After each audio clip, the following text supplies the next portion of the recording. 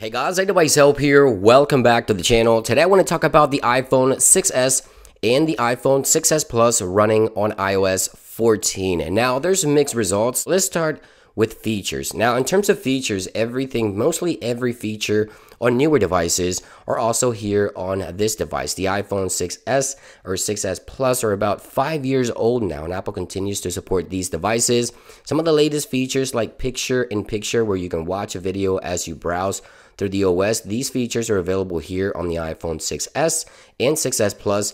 Now also the widgets as you can see here on the home screen are available as well. We have the widget panel, the customization of widgets, edit and add widgets, everything is fully featured here as well. You can add new widgets and things like that as you can see here.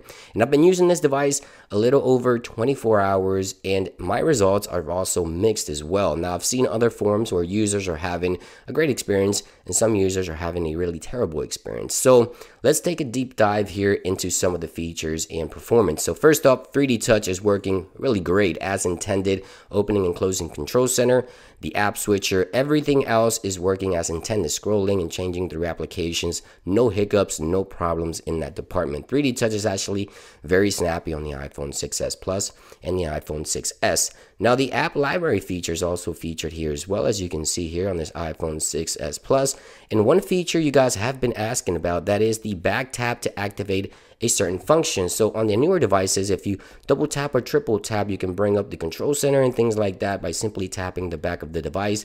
And this doesn't work on these older devices like the 6S, 6S Plus. If we go to accessibilities, we go to touch, you don't find that feature. Unlike the iPhone 11, if we go to the accessibility options and then we go to touch all the way at the bottom, we see it back tap. That is the feature that's missing here on the iPhone 6s Plus. But in terms of other very, very useful features like picture in picture, the new Siri UI, everything else in terms of widgets is definitely here on the iPhone 6s. So feature wise, performance wise, Bluetooth, cell connection, everything else, Wi-Fi is working really, really good on the iPhone 6s and 6s Plus. Now, in terms of mixed results, why do I say that? Well, there's one thing that's major here with the iPhone 6s and 6s Plus, and again, this is beta 1, so it is subject to change in the future. Hopefully, Apple will improve upon the software, but the battery actually drops dramatically uh, from one percentage to another in terms of minutes. So I'm talking five to six percent of battery drops in terms of two minutes.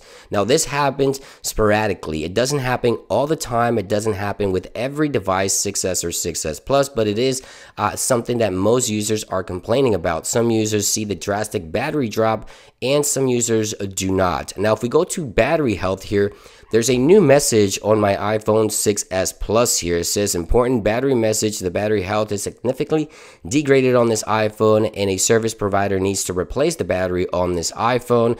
But however, you see here that it says maximum capacity at 79. I've never seen this message at a 79%. Now, peak performance also says that it is at peak performance. So, in terms of performance, everything is good. So, these two things sort of contradict themselves. It says the battery needs to be replaced. However, your battery is currently supported by normal peak performance.